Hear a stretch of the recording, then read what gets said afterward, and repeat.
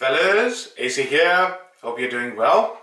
Well, recently I did a video where I categorized 21 designer releases of 2018 and Tobacco Reserve by Aramis I think ended up in the top 5 or just short of it. I can't remember but it was quite an impressive fragrance to me when I sampled it.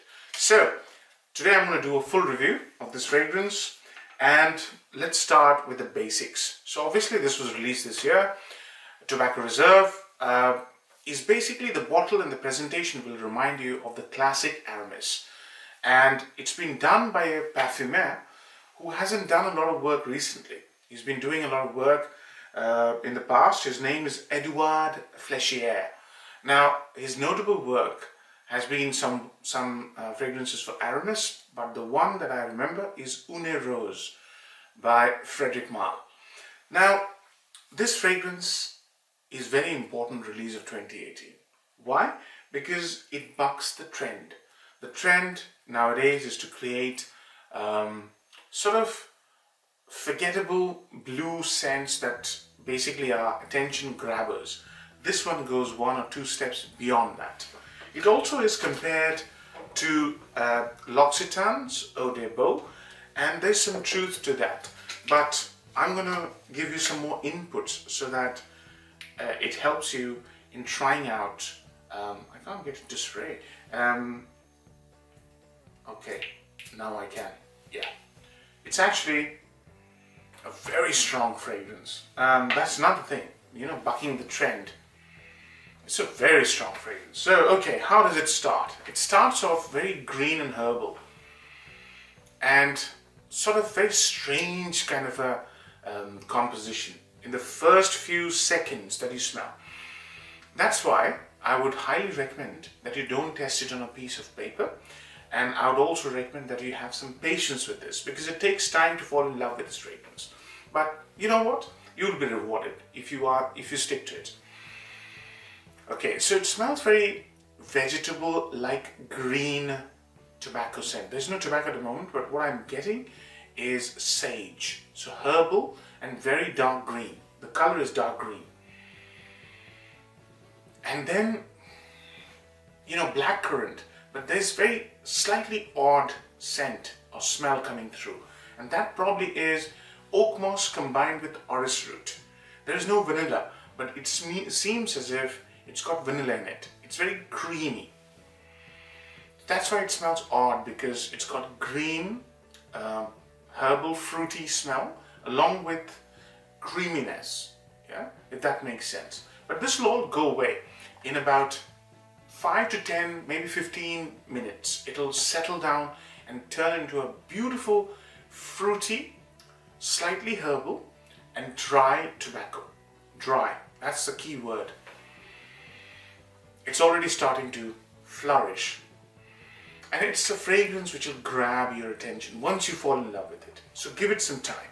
So, in about 15 minutes time, it develops into its final stage. It's a linear scent.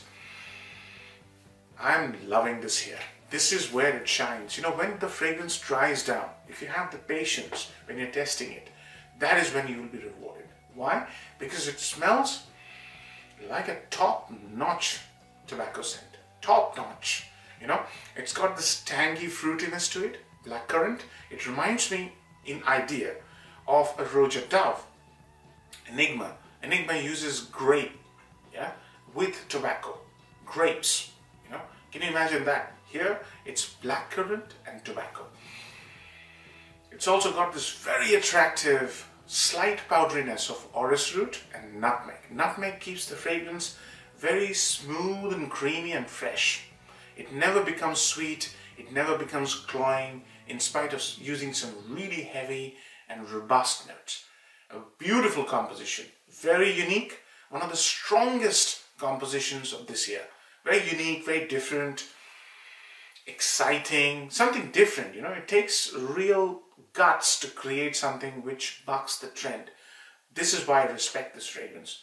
I think you sample it if you like tobacco fragrances. Now, the big tobacco fragrances like Pure Havane, um, uh, Parfums de Marly Herod, they all go sweet. They all go towards uh, Spice Bomb. They all go towards a sweet, spicy direction. This is also very important for this fragrance. It could have gone sweet. It's not. It keeps a very dry, uh, non-sweet. It's sort of sweet, but it's not as sweet as Herod or Pure Havane. Pure Havane is really sugary sweet, uh, honey-like sweetness. None of that. Beautiful spiciness underneath it. That's nutmeg and sage and creamy. Beautiful, beautiful composition. It stays this way for the entire life of this fragrance. So let's talk about pros and cons. Number one pro is what a beautiful imaginative creation this is. That, that is not sweet tobacco. Very imaginative. Beautifully done. Number two pro would be the performance. It's a very long lasting fragrance. So if you go two sprays under your shirt, one or two on your skin, it should see you through the whole day with no problems. I'd say about 12 to 15 hours is the longevity. The projection, this is an eau de parfum, I believe. Um, yeah, I can't read it anywhere. Probably it's an de, it is an de parfum, sorry. So projection is going to be, let's say, half an arm's length for the entire duration of the fragrance. Yeah. Initially, it might project a bit more, probably for one hour, but it will stick closer to your skin as eau de parfums do. Um, the sillage is amazing. The fragrance, when it settle down, settles down on your skin, and after it's about two to three hours old, that's when the fragrance becomes absolutely stunning. And when you've worn it under your shirt in a warm weather like, sorry, cold weather like this, it starts to really seep out between your shirt and your skin. It really gives you beautiful wafts, terrific uh, quality.